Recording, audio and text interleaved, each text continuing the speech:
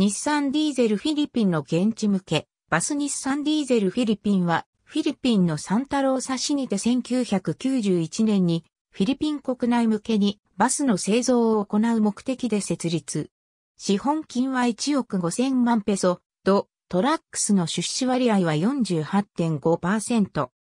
1996年には資本金が1億8600万ペソまで増資された。この時点での出資比率は日産ディーゼル30%、富士重工業13%、日面12%。その後、アジア通貨危機により、フィリピン国内のバス需要減少と、フィリピンからの輸出が困難なため2001年12月、解散。ユーロツアー JA530 ラン東京空港、交通1996年から NDPC が日本向けに製造したハイデッカータイプの大型観光バス。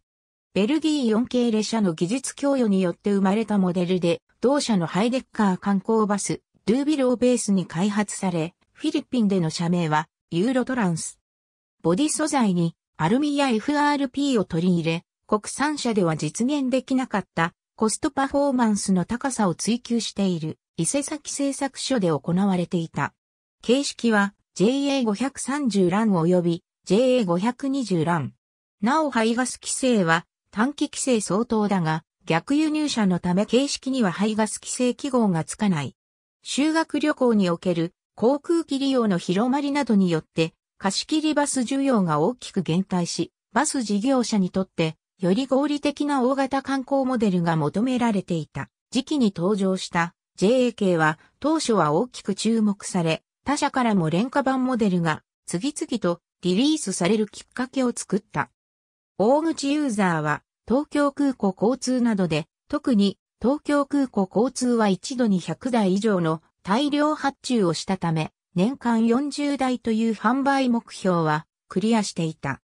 しかし海外生産に禁する車両信頼性やメンテナンス性への不安、全軸が空気バネとはいえ車軸喧嘩サスペンションのため、独立喧嘩を採用する国産観光バスに比べて操縦安定性が劣る点がネックとなり、あまり普及しないままに生産中止を迎えている。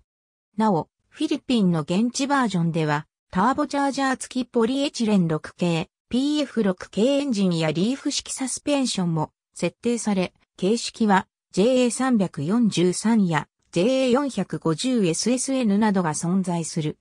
戦術したように、排ガス規制記号がつかないため、大阪府等排ガス規制の厳しい地域への乗り入れも可能であり、いわゆる新面事業者に中古導入された車両が数多く確認されている。特に東京空港交通から放出された車両については、戦術のメリットに加え、リムありがとうございます。